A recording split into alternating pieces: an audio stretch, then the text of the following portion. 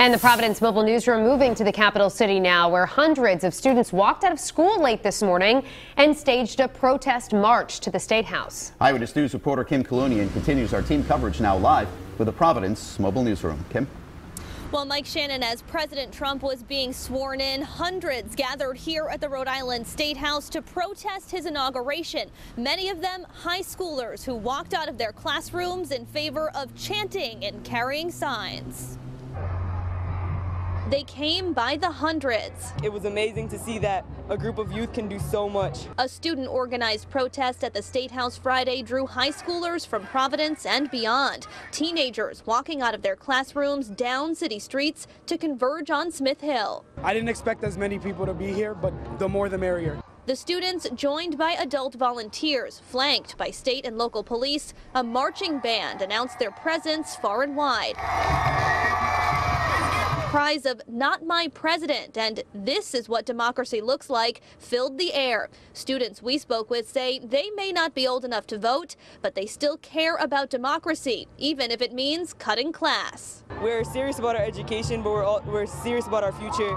We're serious, we're serious about what happens in the next four years. I think that it'll show like how much that students want to have a voice and maybe who knows maybe they'll lower the voting age so that way kids our age can vote and we can actually have a say in our future what kind of a difference do you think this is going to make I think that this is definitely going to prove to anyone who was saying that we couldn't do it or that our, our voices don't matter, we're going to prove them all wrong.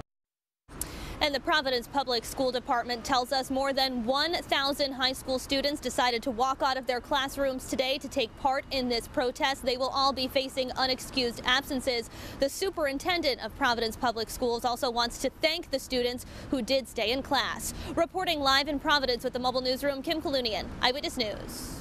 A similar story here in Rhode Island, but much more peaceful. As we reported earlier this week, students in Providence walked out of school in protest at noon today, saying even though they couldn't vote, they still have a voice. Eyewitness News reporter Kim Kalunian is live in Providence with more on today's protests. Kim?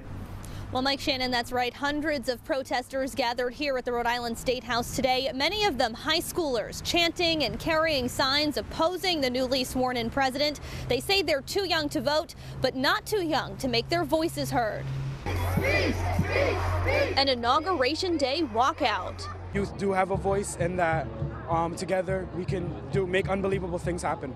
The student organized protest drew hundreds from Providence and beyond. Protesters converging on the State House lawn, chanting, Not my president, and carrying anti Trump signs. Trump is like a fraud, and he, he's got a lot of disrespectful things to say about people. He's against everything that we are. He, we're all minorities. He doesn't, he shows no respect or like courtesy toward us.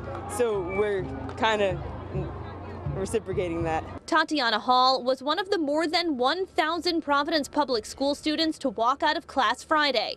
We're serious about our education, but we're, all, we're serious about our future. On the streets and at the State House, students flanked by state and local police. So we're here to make sure it's peaceful and safe. A peaceful protest, students say, is meant to be a reminder youth matter. It was amazing to see that a group of youth can do so much. And it's hard to say exactly how many local students were at today's protest because they came from various districts and both public and private schools.